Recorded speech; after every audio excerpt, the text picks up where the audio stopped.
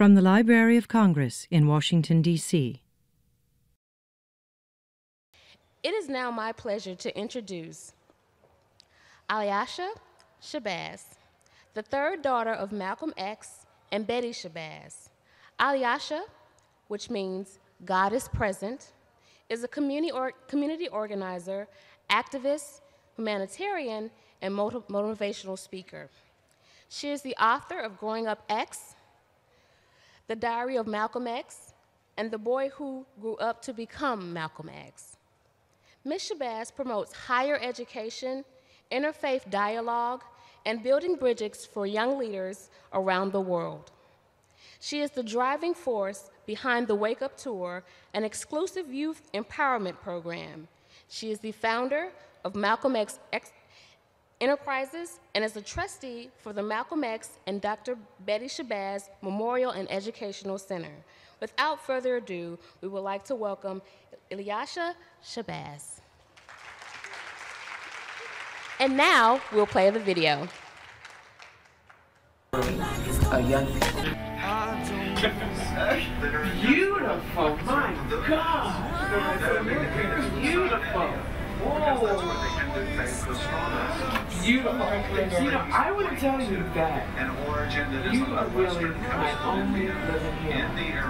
And it's really an honor for me, I have to tell you, a profound experience for me was was reading the biography of Winnie Mandela, mind blowing, and so it was a most endearing and heartfelt moment when Camille and I met her. That was at the That's wonderful. Yes, indeed. And still as beautiful as ever. Pick up that mantle and run the final mile to total freedom. So the youth have to know that any country, even rich US, without taking care of their children, there is no future. Because the future of every country is its youth. You have to invest everything in the youth of the land. If you want a stable future and a future for your own children's children. And what would be the point in any case of leading a useless life and you know that uh, when yours come to an end, nobody is going to continue that life. Every parent should know that children are a continuation of themselves. So what we were in life and what we are, we should instill in our children. And because they have to be told that they are a continuation of that struggle we fought everywhere in the world. Therefore, I know my children will run the last mile. And that should be the case uh, here. Malcolm knows where he's like, but his children will run the last mile and will carry the mantle to the grave. I'm here in Mali. I'm here.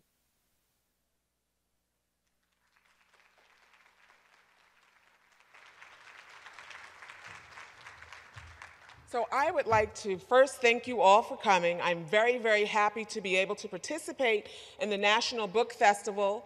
Um, I'm so happy that I could write this lovely children's book about Malcolm Little for these beautiful children. Um, as you see, I travel all around the world, and the one thing that we want you to understand, we want all the young children to know that you are truly our future leaders, and we are counting on you to go to school and learn everything that you can possibly learn. When you're in class, and if there's something that you don't understand, you have to make sure that you keep raising your hand. If there are any adults around you, if there's anything that you don't understand, keep raising your hand and ask questions until you do understand. You got that? Great. So, this story is about courage, it's about perseverance, it's about compassion, it's about leadership. And so we want you to make sure that you are going to be the best leaders that you possibly can, and that you understand equality and all of the great things that this little boy Malcolm came to understand as a child. And he learned these things by his parents. his mother and his dad. And so Malcolm Little is written, you see the cover of this book, it's a young, impressionable child, and it says that all of us start off as children, and whomever we are today, it's because of what the adults around us taught us. And so it's our responsibility as all the big, beautiful adults. It looks like most of you in here about 15 or 16 years old. And um, it's our responsibility as the bigger adults to make sure that we're teaching our children very well so that they can go off to be great and do wonderful things like Malcolm X did. Um, my favorite people in the world are the children. I have one uh, uh, excerpt that I'd like to read about the garden and how Malcolm came to uh, be all that he could. And, and, and so we have a picture here of Malcolm, young Malcolm in the garden with his mom. And I have to say that his dad was the president of the Marcus Garvey movement in the 1920s. His mother was the, the uh, National Recording Secretary, and she was the one who instilled the desire, the passion for learning, the passion for education. And just as Malcolm found inspiration from his father's speeches at church, he learned some unexpected lessons from his mother's garden at home. For Malcolm, the enchanted garden of Louise Norton Little was an entire world of its own, where even the most sluggish of ladybugs and the fastest scurrying ants were all equally treated uh, like esteemed and welcome guests at a family Sunday brunch. Here, savvy spiders busily crocheted their delicate webs along the foliage, allowing the strong Midwestern sunshine to cast pretty patterned shadows on the, on the soft earth below. Geraniums dotted the field in the distance with peppy pops of pink and purple as the crisp blue sky and lush green fields connected somewhere far out in the horizon. In the sacred garden, beetles hustled about like harried businessmen on their way to important meetings, while snails lolled leisurely as if they were on some kind of half speed permanent vacation. Here, Louise taught her children to love every living creature, equally, large or small, pretty or not so pretty, busy or still, fast or slow, insect or plant. The garden was a testament to the true and unconditional brotherhood from the earth on up to the sky, a daily lesson in acceptance and equality. Each living creature had a story, a purpose, a reason for being, and a beauty of its own. Through the majestic trees in the garden, Malcolm would also learn about the importance of roots, nature's anchors, the base of every living creature, and through the outspread wings of the chirping birds above, he began to see the power of possibility. And so we just want to make sure that all of our children understand if you persevere, if you have that courage, you keep trying, that you can go out and do these great, great things that all of the adults around you do. And so we understand the foundation that was provided by Malcolm from his mother and his father and the fun that he had with his children, I mean, with his brothers and sisters, his siblings, that he was able to go out and become this great international political strategist. Okay? So I want to make sure that I do have some time for some questions. Um, we have 10 minutes for questions. And there are two mics in the center of the aisle. If if you would like to come up and ask any questions, I'm happy to entertain them.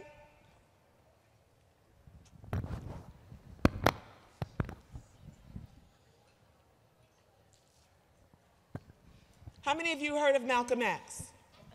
Very good. Yes, what's your question? How are we gonna, what's your question? Is there a microphone for yeah, him? she has it right here. Okay, there's a young boy right here who wanted to ask a question. Okay, let's see. Um, how many books have you written?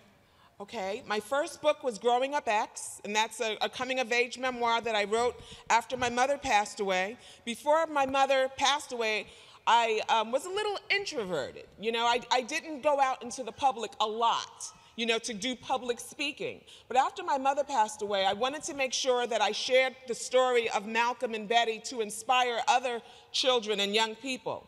So I wrote that book in, in uh, 2002. My second book is Growing Up X, which, well, actually, that is my, my second book is Malcolm Little, uh, which is the children's illustration book, which just came out in January. And in January um, of 2015, I have uh, another book that's coming on Candlewick Press, which is simply entitled X, and that's a young adult version of Malcolm. Okay, and I have more or less a follow-up question. Yes, ma'am. What's your favorite book that you've written? Say that again? What's your favorite book that you've written? My favorite book is Malcolm Little because my favorite people are the children. You know, and I want you all to understand that the roles you will play, that one day you are going to be the adults that you look up to. And so you have to make sure that you learn every single thing that you possibly can so when the other children start asking you questions, you have the best answers for them. And that you can make sure that everyone is treated fairly and equally and that they know that they are worthy of self love. And that is the most important thing. Yes, young man, right here. Yes. You studied Malcolm X? Very good. Very good. Um, yes, young lady, right here. Very good. What inspired me to write? You all. I love children. I love children. And I wanted to make sure that you could look in a book and that you can see people who look like you and you could feel good about these people and you would know your role as young children, your role to give back, your role to be kind, your role to learn as much as you possibly can. Yes.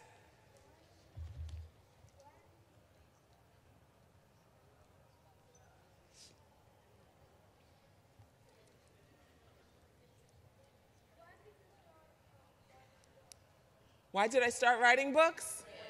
Oh, when? I started writing, well, actually, I, I wrote books when I was as young as you. I used to write stories when I was a little girl as a hobby.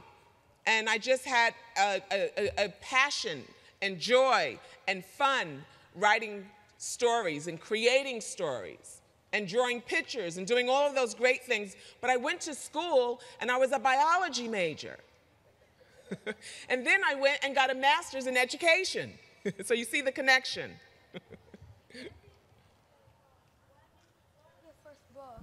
My first book was Growing Up X, and I wrote that in 2002. Yes? Um, what are all your books about? Oh, very good question. Uh, my books are about all of the things that little boys and little girls like. They're about equality. It's about respecting the earth, respecting the grass and the trees, making sure you don't pollute. Um, it's about investing in yourself and knowing that you're worthy of a quality education, the best education that you can have. Um, it's about all the things that make you feel good about yourself so that you know that you are worthy of self love. You know, it's about all of those great things that empower and motivate us to do better and to feel good about ourselves.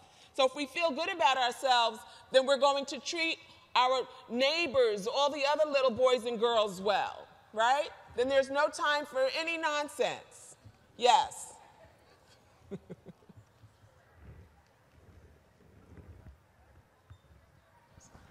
How much books did you read?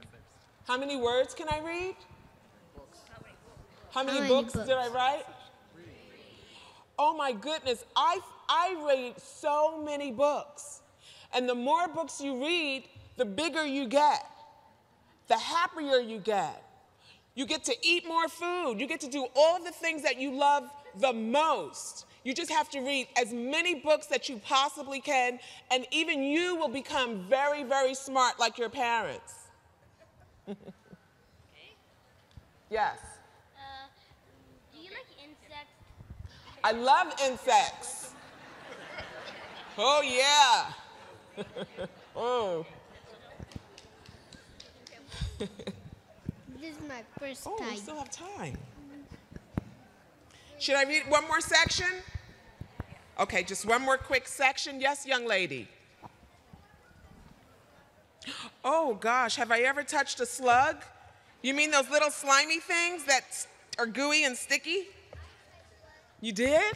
Did you like the feeling of it? Wow, that's pretty cool. Here's another section about Malcolm going fishing. On sunny afternoons after school, when the air was still warm from the day and the chores were done, Malcolm loved to go fishing with his friend Big Boy. The two of them would stand over the stream like a pair of kings, surveying their empire. They stood quietly, eagerly, waiting for their fishing lines to move, for even just a hint of a ripple in the stillness of that glistening water. Sometimes they'd stand there for hours watching the stream as if nothing else mattered. They would scratch their heads and exchange looks that said, What could we possibly be doing wrong? Malcolm and Big Boy knew that if they wanted results, they were going to have to come up with a clever way of catching the fish. What were they not thinking of? Malcolm would scratch his head, squinting through the sunshine, and mull it over with Big Boy, both of them trying to come up with a better way to attract the fish. Then one day on the bridge, while the lines were still, Malcolm felt a rumble in his belly. The thought of the delicious supper that was waiting for him at home crept into his mind. Freshly baked buttery biscuits, herb roasted chicken, vegetables from the garden, and a homemade apple pie with ice cream, caramel, chocolate, and strawberries. Malcolm imagined the aromas that would fill the little house at dusk. And then suddenly it hit him. They needed better bait. Just like the aromas of dinner brought him and his siblings running to the table, Malcolm and Big Boy needed to lure the fish to come swimming to their lines. Their plastic earthworms obviously weren't cutting it. The next day, just before Malcolm cast his fishing rod into the stream, he pulled a handful of, bre- of breadcrumbs from his pocket and hurled them into the water, where they landed like pretty drops of cotton candy. Soon, tiny bubbles appeared around the crumbs, and just like the children would come running to the table each night, the fish swam around to see what treasures Malcolm and Big Boy had to offer. From that day on, the boys caught big, beautiful fish. But most importantly, Malcolm learned that observation and effort could combine to create desired results. And so it says that you must persevere, that whatever it is you want in life, you have to have the dream and the vision, and you have to persevere and keep trying and trying until you do it better and better and better. And we know that you guys are the best. We know that you guys rock. We know that you guys rule, and that you are going to be the best leaders for this country. Yes! now I just have four more minutes. Is there another question? Yes, young man.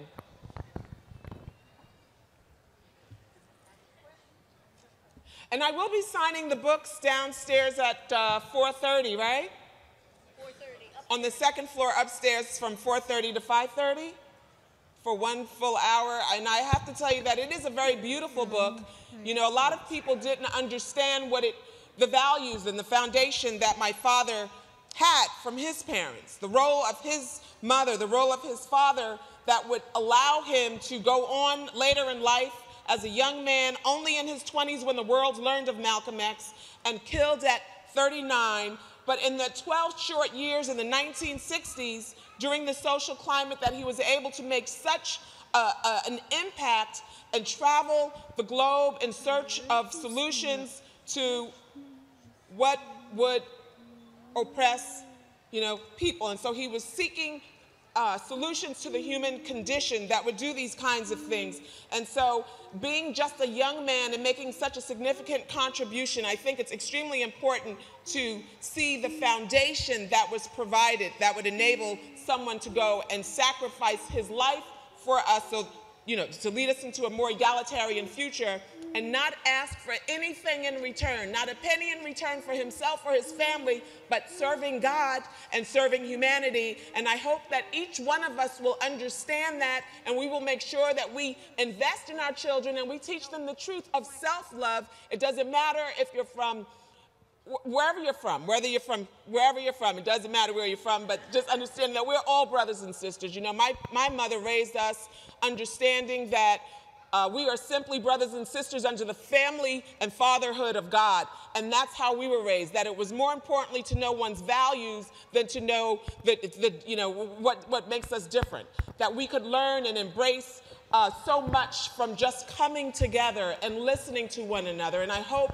as the educated adults all of you all who look like you're a little over 16 years old, that we will make sure that we teach our children and we really invest in them and that we're honest and that, you know, we instill these great values in our children. And it, oh, wait, is that 350 now? Okay, five minutes? Okay, yes, young man. Sorry.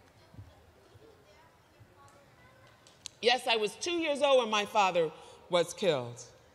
And, you know, I have to say that a week prior, my mother, um, you know, our home, there was a little firebomb. And, you know, you look at this woman, his wife, who was in her 20s and she had four babies and she, had, she was pregnant with twins. How was she able to go on? How was she able, you know, to accomplish all that she did? She went, she got her master's, she got her PhD, she, you know, raised six girls as the wife of a man who challenged um, some unjust situations, and she just soared. And I often ask myself, how was she able to do that? I asked my mother, how were you able to do that? She loved her husband. Uh, she loved and respected her husband, and um, she never accepted no or I can't as an answer. She did not live her life as a victim. Um, and so she did some really, really remarkable things. Yes, you beautiful young girl with the pretty pink Yes, it's you with the pretty pink and the. Yes.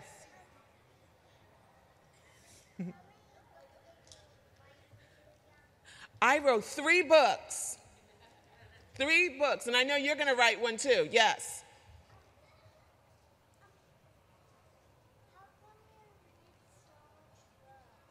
How come I read so many words?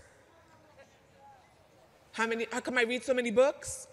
Because I, if you read a lot of books, you become smart and you're able to answer when people ask you questions. Sometimes it's good to be able to help them and give them answers or give them your insight. And you get that insight from reading books. Yes. My father was, um, he was killed. Yes. My best memory of my father, my father was like six foot four, a little over six foot four. You know, a lot of people, when I, when I go to these wax museums, I see this little man and I'm like, oh my gosh, you know, nothing against short men, of course. But, um, you know, when someone is six foot four and six foot five, you know, you want to just like really get the, the, the, clear perception of who, you know, this, you know, how did he make this great impact and, and what did he look like? And, you know, I'm such a visionary. My father was six foot, a little over six foot four. And, um, so I just remember looking up at my father, just flickering images I talk about in my book. I remember his big pearly white teeth. He was always smiling. You know, he was just so kind and gentle. And I remember he would call my name Ilyasah, you know. And so my mother said when I was a little girl, you know, people, Ilyasah, Ilyasah. And, you know, I just keep going and you know, I didn't pay attention to anyone. But when I heard my father's voice, Ilyasah, that I just stopped you know, and I'd freeze and I'd give my attention to my father. So those great memories, beautiful doll that I that I had, beautiful brown doll with this long hair. I remember that beautiful doll. I remember my beautiful blue and white rocking chair. I remember my puppets. I remember just so many, something about the the the, the um, oh gosh, I can't think right now. But just so many different uh, exciting times. So I thank you very much for coming, and I hope that I see you down upstairs. I hope I see you upstairs. Upstairs. at 4.30. Thank you. This has been a presentation of the Library of Congress. Visit us at loc.gov